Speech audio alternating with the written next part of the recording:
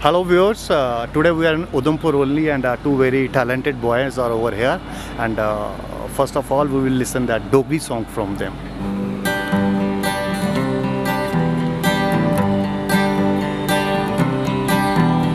नैना तेरे नैना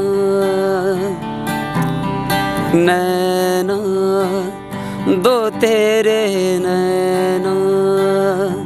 जी मेरा ले गए ले गए चैना। हो नैना, तेरे नैना। कियाँ जी अंब रहंदे तारे हसदे दिल कहंदे मारे। कियाँ जी अंब रहंदे तारे हसदे दिल कहंदे मारे। ओ सोचे विच रवां, दिन रहना। नैना, तेरे नैना। नैना, दो तेरे नैना। रुके दे पानी च अचल होइए मेरे मने दे समुंदर च तेरे रूपे दी बेड़ी पई। रूपे तेरे किता है शुदाई, हायो रब्बा तेरी दुहाई। रूपे तेरे किता है शुदाई, हाय रब्बा तेरी जुहाई ओ दुनिया शासा के लेना नैना तेरे नैना। नैना दो तेरे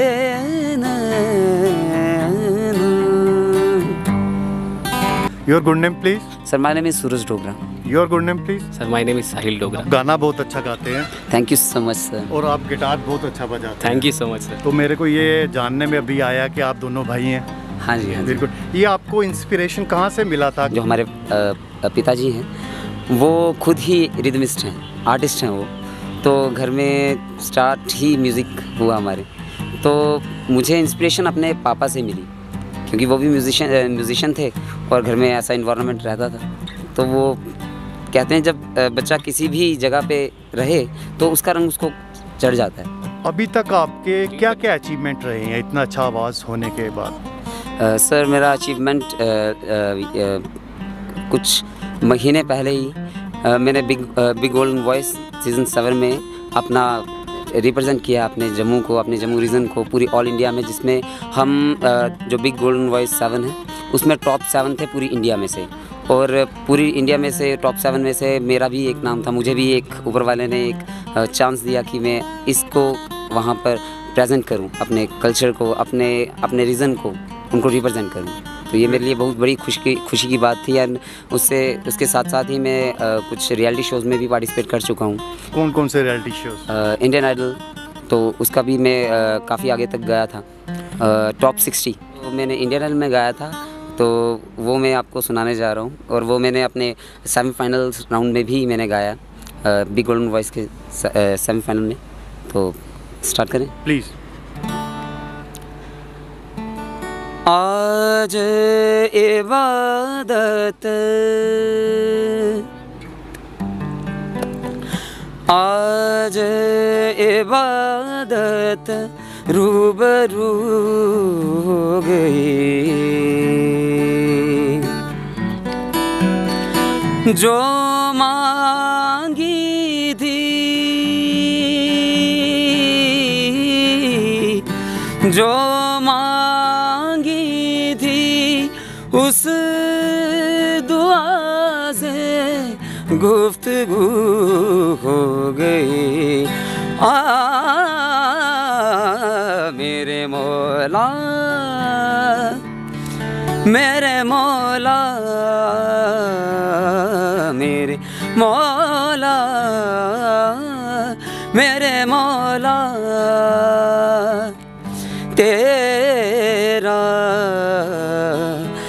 शुक्रिया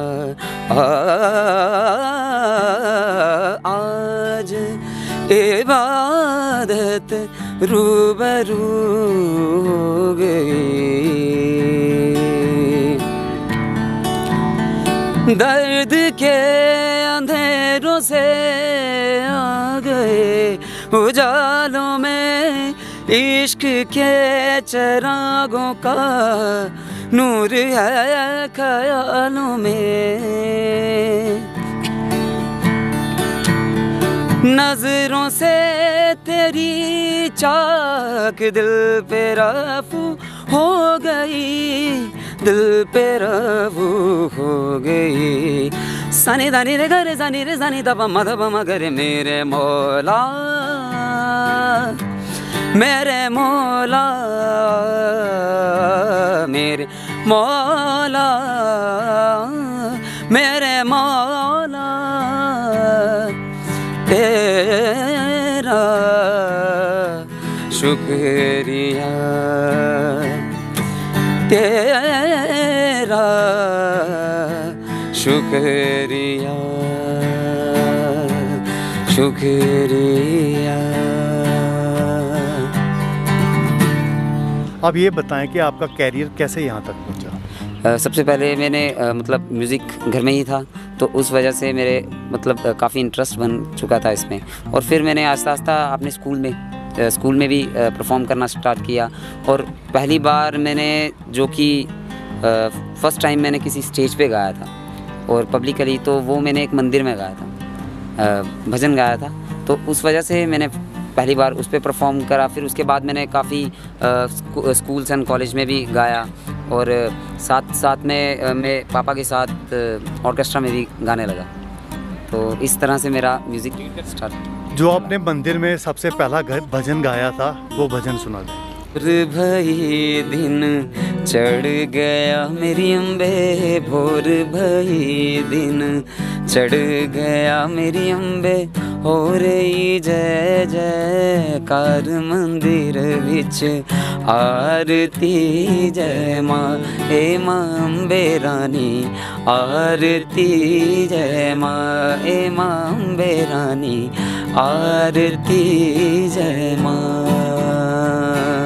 साफ़ साफ़ लफ्ज़ों में मेरी फैमिली ने सपोर्ट किया मुझे।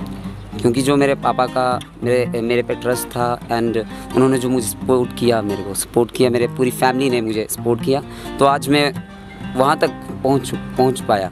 और अदरवाइज़ मैं कुछ और कहूँ तो मुझे अभी तक फ़िलहाल तो कोई एडमिनिस्ट्रेशन की तरफ़ से भी कुछ ऐसा लगा नहीं है। मुझे क्या मैंने का, काफ़ी सारे उधमपुर में काफ़ी यहाँ जम्मू में हमारे बहुत अच्छा अच्छा टैलेंट है। उधमपुर में हमारे जे में काफ़ी अच्छा टैलेंट है। बट उसको निकालने के लिए हमारी जो एडमिनिस्ट्रेशन है ना, वो अगर कुछ हद तक कुछ प्लेटफॉर्म तैयार करे, उनको आगे प्रमोट करे तो हम काफ़ी अच्छा एक्सेल कर सकते हैं। पूरी नेशनल लेवल पे कर सकते हैं। बट हर बार हम यही देखते हैं कि हमें एडमिनिस्ट्रेशन का सपोर्ट इतना नहीं मिलता। हमें अपने लोगों का सपोर्ट इतना नहीं मिलता। क्योंकि एक आर्टिस्ट को जब तक मतलब उसको निकाला ना जाए, उसके टैलेंट को बाहर ना निकाला जाए तो वो अपनी जगह पे किसी को ज़्यादा कर नहीं सकते। तो यहाँ पर भी कुछ ऐसी सहूलत हो और मतलब हमें प्लेटफॉर्म मिले गवर्नमेंट मतलब हमारी जो एडमिनिस्ट्रेशन है, ये ऐसा प्लेटफॉर्म तैयार करे, हर हर साल कुछ प्लेटफॉर्म तैयार करे जो नए नए लड़के वहाँ पर आके अपना टैलेंट दिखाएँ, ठीक है? और जब उनको अगर एडमिनिस्ट्रेशन इतना सा काम कर दे कि वो अपने एक प्लेटफॉर्म पे उन बच्चों को लाके रख दे, जब लोगों के सामने वो प्रेजेंट होंगे तो क्यों ना पब्लिक भी तो सपोर्ट करेगी ना? पर जब आर्टिस्ट सामने ही नहीं आया तो पब्लिक किसे सपोर्ट करेगी? बाहर कैसे जाएँ? किसी को पता नहीं होता है फ़िलहाल, ठीक है? हाँ जो अपने यहाँ पर ऑडिशंस होते हैं तो वहाँ पर मैंने भी वही किया कि अपने गुरुजनों से ली इसकी शिक्षा, और पेरेंट्स ने सपोर्ट किया, थोड़ा मैनेज करके तो ऑडिशन दिए ठीक है? तो आज मैं उस जगह पे पहुँचा तो वो भी एक रीज़न था ना ऑडिशन होते रहे लोगों को पता चलता रहा अवेयरनेस हुआ। तो यहाँ पर ऐसा कुछ है नहीं यहाँ से उठ के वहाँ पर जाओ। तो अगर अ, अ, हमारी एडमिनिस्ट्रेशन साल में कुछ एक आधा प्लेटफॉर्म कर देना तैयार तो आर्टिस्ट तो खुद ही वहाँ पर आ जाएँगे। तो जिससे मतलब वो टैलेंट छुपा हुआ टैलेंट भी बाहर आ जाएगा। तो मैं यही कहना चाहता हूँ कि एडमिनिस्ट्रेशन को भी ये कहना चाहता हूँ कि प्लीज़ कुछ करो हमारे जो लोकल टैलेंट के लिए उनको एक अ, मंच प्रदान करो। घर पे अगर बच्चा छोटा बच्चा है उसमें अगर उसको टैलेंट उसमें टैलेंट है तो प्लीज़ उन घर वालों से ये कहना चाहता हूँ कि उसको आगे बढ़ाएँ। नहीं तो ये ये चीज़ यहाँ पर ही रह जाएगी। अगर उसको थोड़ा सा पुश करेंगे हम तो वो बहुत आगे तक जाएगा। ये घर वाले जितने भी घर वाले हैं अगर देखो ना यहाँ पर डॉक्टर्स इंजीनियर इंजीनियर हर हर जगह हर जगह मिलेंगे लेकिन ये जो कहते हैं ना कि डांस हो गया उसके बाद सिंगिंग होगी ये हर हर जगह नहीं मिलती है एक बंगाली गाना सुनाना चाहूँगा जो मुझे बहुत प्यारा लगता है प्लीज तो मैं आपको वो सुनाऊंगा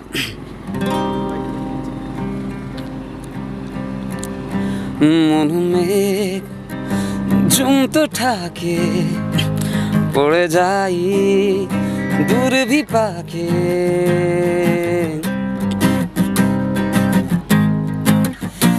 মন জন্তু ঠাকে পড়ে যাই দূর ভি পাকে চিন্তাতে তো কাটছে প্রভোর শান্তি নে এ যন্ত্রণা মন মাঝি রে। বল না কোথায়? মন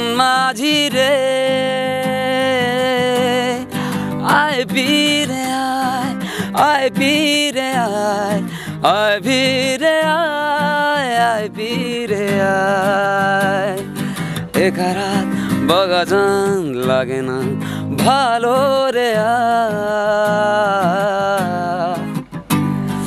नै रात, नै रङ जानी नै किचुई करा ए, ए, ए, বাগাজান লাগে না। ভালো রে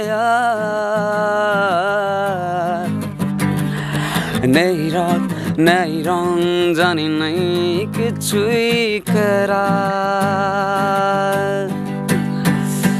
পড়ছে মনে, মুখের আড়ো ভাঙিয়ে বুক, ভাঙছে প্রহার, মন মাঝি রে বল না কোথা মন মাঝি রে। আয় ফিরে আয় আয় ফিরে আয় আয় ফিরে আয় আয় ফিরে আয় আয় ফিরে আয় আয় ফিরে আয় আয় ফিরে আয় जेके यूटी न्यूज़ ने बहुत किया कि यहाँ पर जो छुपे हुए टैलेंट्स थे उनको सोशल मीडिया पे एक प्लेटफॉर्म दिया कि वो सोशल मीडिया पे आए अपना अपना टैलेंट बाहर दिखाएँ। तो ये बहुत बड़ी मतलब अचीवमेंट की बात है और एक प्राउड की भी बात है। मैं देखा कि कुछ बच्चे ऐसे हैं जिन्होंने म्यूज़िक के कारण अपना एजुकेशन छोड़ दिया क्या उनका ये डिसीज़न ठीक है या गलत है? आई थिंक मे, मेरी जो सोच है क्योंकि वो uh, अब म्यूज़िक एक अच्छा है जो भी आपका प्रोफेशन जो भी आप इसको मानते हो वो ठीक है बट एजुकेशन के साथ कभी कॉम्प्रोमाइज़ अच्छा नहीं रहता। क्योंकि uh, मेरे जो डैड हैं जो मेरे फादर हैं उन्होंने भी मुझे ये चीज़ कही थी जबकि मुझे इसी में इंटरेस्ट था उन्होंने ये चीज़ मुझ, मुझे सबसे पहले कही थी कि जब तक तुम पढ़ाई करोगे तब तक मैं तुम्हें म्यूज़िक में सपोर्ट करूँगा। और सच्ची में क्योंकि अगर वो उन्होंने कहा कि जिस दिन तुम्हारी पढ़ाई बंद उस दिन तुम्हारा संगीत भी बंद। तो उस चक्कर में एक मैंने अपनी एजुकेशन भी करी और जिस वजह से मेरा म्यूज़िक भी चलता रहा। तो ये चीज़ मेरे दिमाग में सबसे ज़्यादा स्ट्राइक की और मैं सभी बच्चों से ये भी कहना चाहूँगा म्यूज़िक अपनी जगह ठीक है बट आप अपनी पढ़ाई के लेके कभी कॉम्प्रोमाइज़ मत करना। ये मेरा सभी अ, मतलब अ, बच्चों से या अ, किसी से भी जो स्टूडेंट लाइफ में है तो वो उनसे ये आग्रह है मेरा। हो गया। क्या आपको लगता है कि इस म्यूज़िक सेक्टर में हम किसी चीज़ में लैग कर रहे हैं?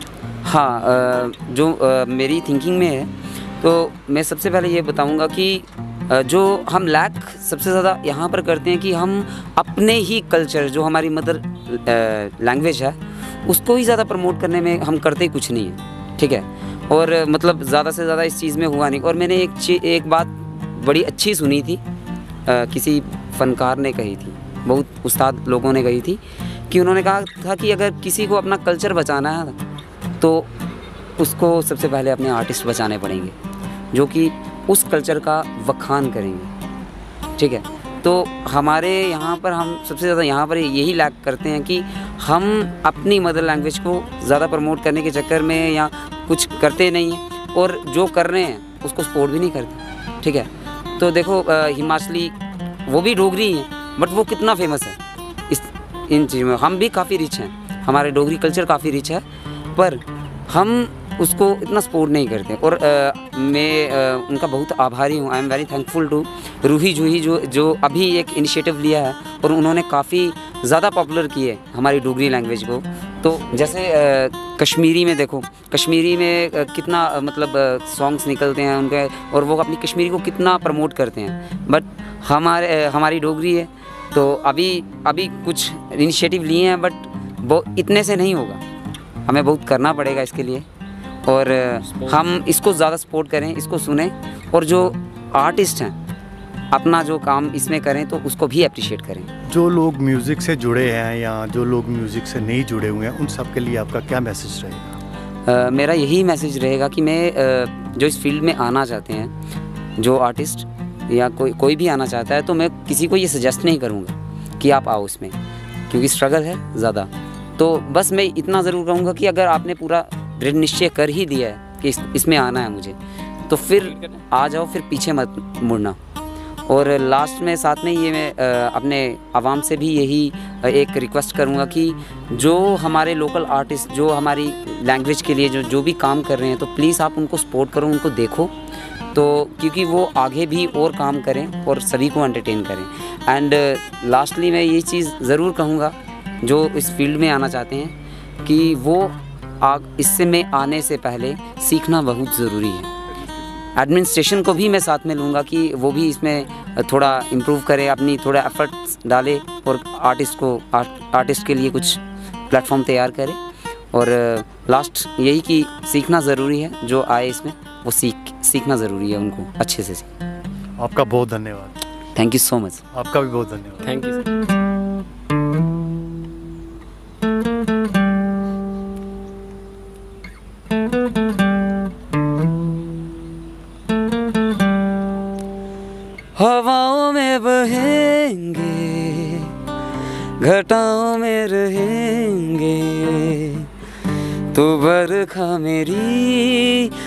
तेरा बादल पिया।